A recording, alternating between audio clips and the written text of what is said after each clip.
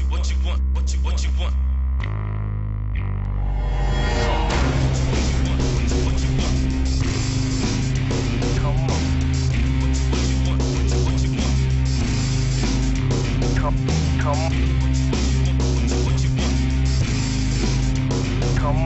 definitely saw improvement this last Saturday against Bangor. You know, the kids actually went out and competed for, you know, three and a half. Competed late into the game, and that's exactly where we need to start heading right now. See if we can compete for 48 minutes. We also said, you know, we have the second season coming up here, another five games, and uh, it's critical. They have an opportunity here to finish this season very strongly. And how badly does your team want to get that first win? Oh, I think they do. I mean, you know, hey, you know, they're teenage boys. You know, they're going to have to start, uh, you know, playing 48 minutes. But they also, yeah, a win is incredible for you know, anybody's confidence. I don't care if you're playing professional football, college football, or high school football, especially. I think yeah, they need to see a result, and uh, hopefully, we're going to get prepared this week for that result.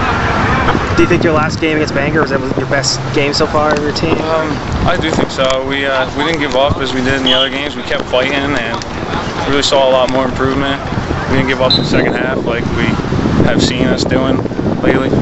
All right, and uh, what do you think? Uh, how important is it for your team to just get off that, get that first win? I think it's very important. I think once we get that first win, we'll just it'll up our motivation. We'll come out ready to play. It'll just be a good lift for us.